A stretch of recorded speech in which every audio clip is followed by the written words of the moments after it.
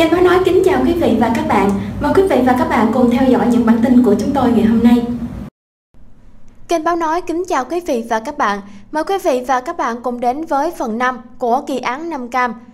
Mưu mẹo giúp 5 Cam trở thành ông trùm của những ông trùm. Bằng những thủ đoạn tinh vi và chiêu trò ma mảnh, Nam Cam đã thâu tóm được một số những cán bộ biến chất trong ngành công an, báo chí để lách luật một cách an toàn. Khi đã tạo được lá chắn cho các hoạt động phi pháp của mình, Nam Cam không ngừng vươn rộng vòi bạch tuộc, chiêu nạp đàn em, thâu tóm dần các mối làm ăn béo bở hái ra tiền thời đó.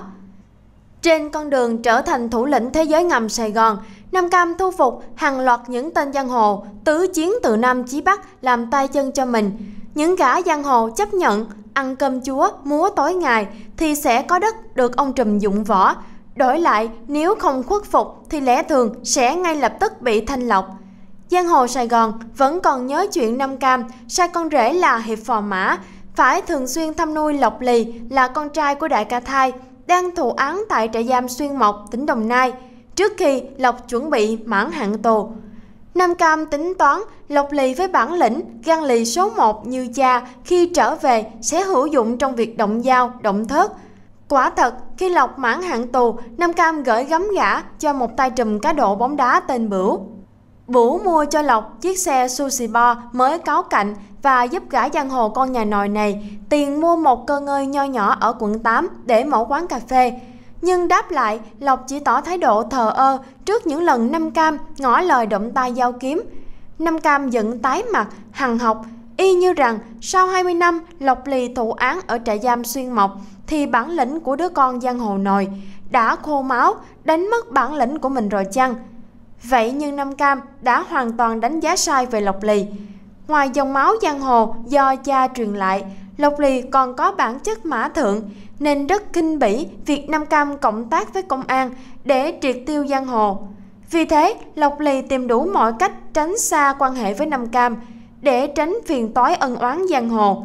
Còn Nam Cam thấy thái độ bất phục tùng của Lộc Lì, y tìm cách loại bỏ kẻ sa cơ này khi có cơ hội.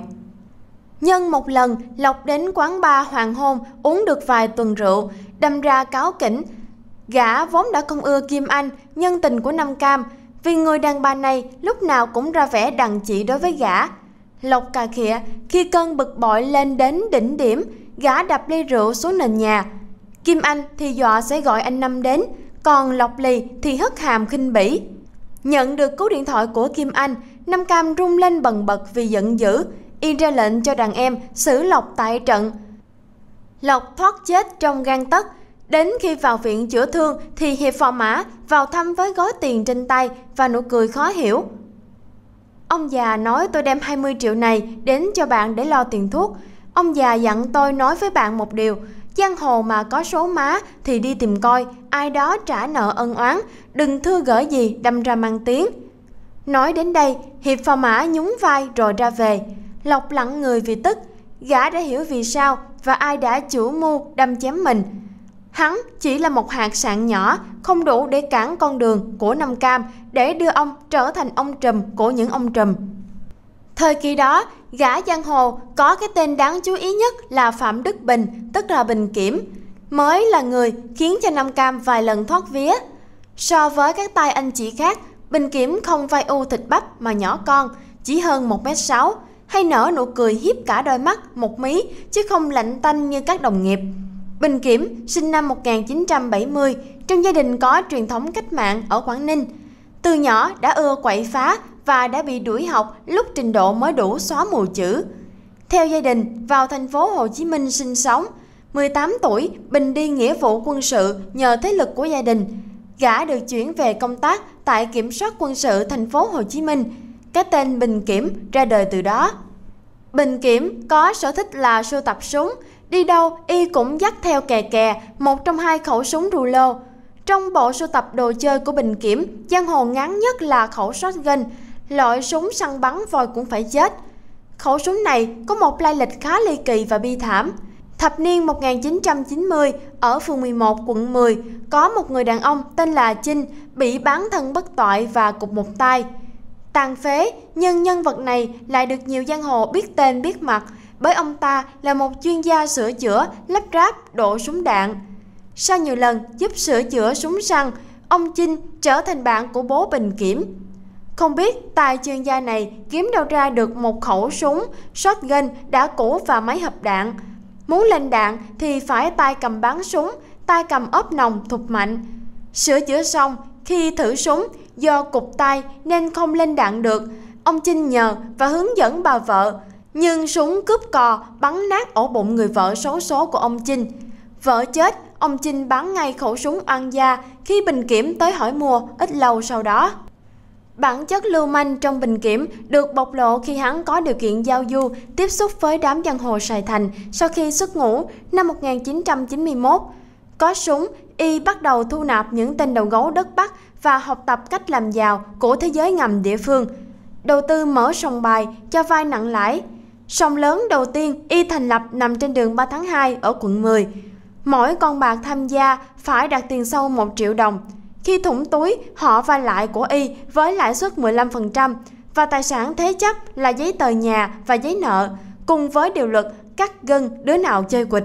Bằng những mối quan hệ đặc biệt để bảo vệ an toàn cho sòng bài của mình trước các cơ quan chức năng, Bình thu hút ngày càng nhiều con bạc đến sòng. Nhờ cơ sở kinh tài này, băng của Bình ngày càng mạnh và bắt đầu có những hoạt động gây tiếng vang trong giới giang hồ. Đã có thời gian, Bình Kiểm phải đi cải tạo ở trại giam Tống Lê Chân, Bình Phước.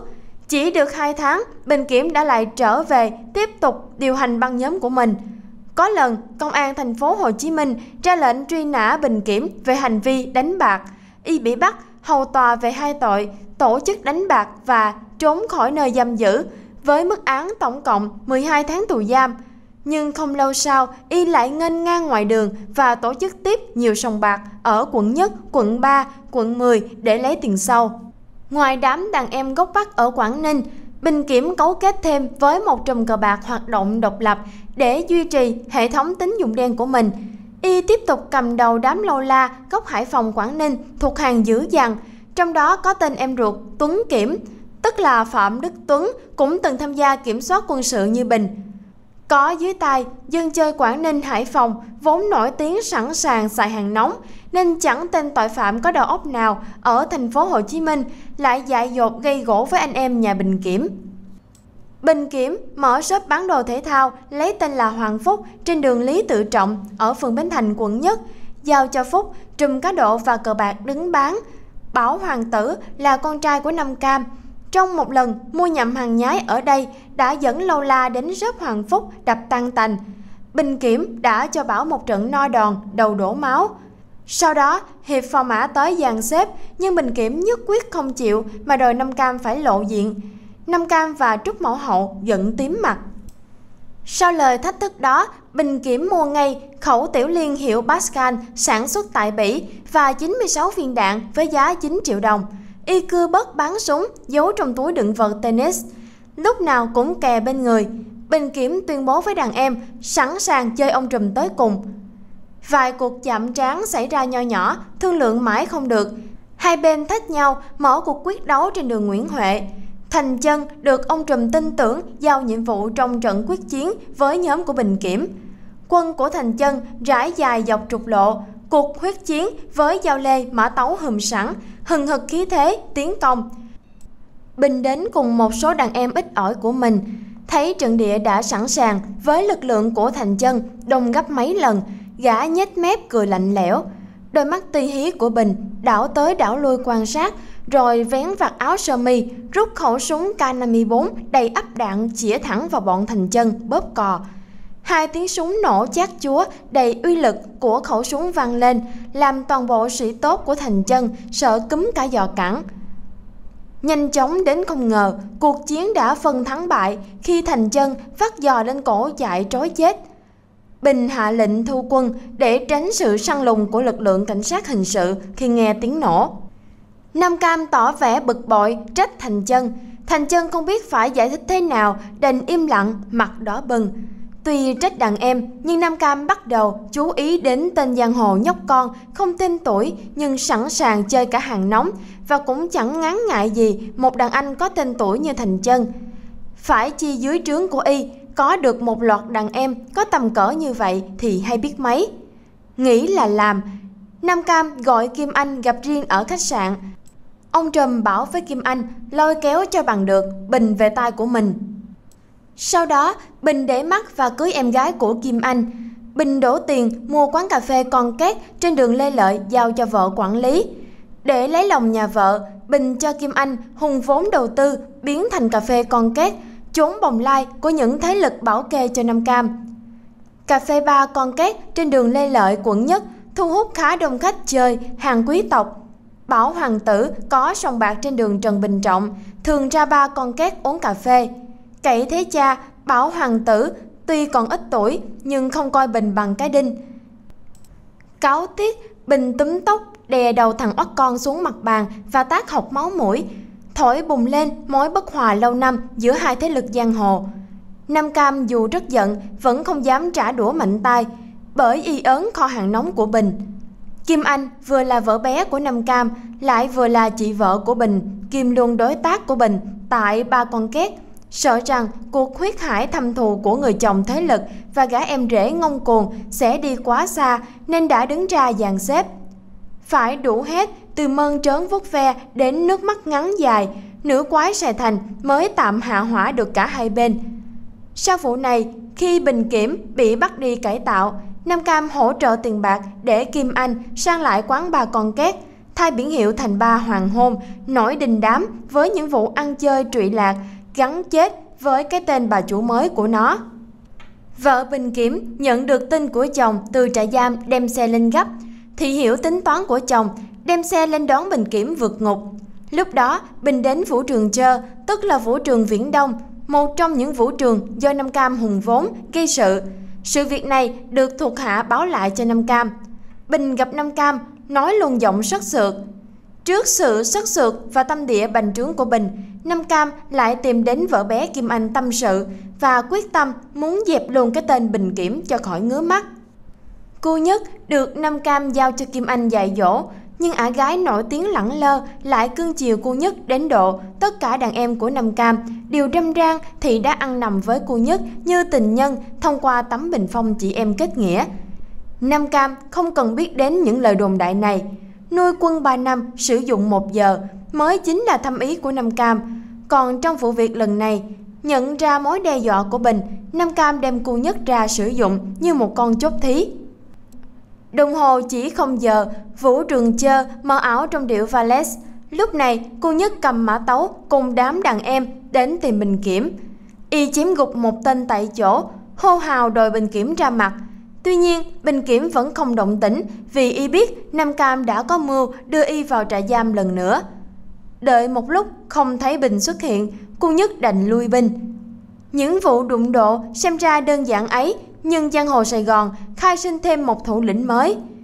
Năm 2000, ra tù chưa được bao lâu, Bình Kiểm đã xông vào một gara ô tô tại quận Nhất, đánh ông chủ Nguyễn Văn Rớt, Việt Kiều mới từ Mỹ về vì dám từ chối sự bảo kê của gã.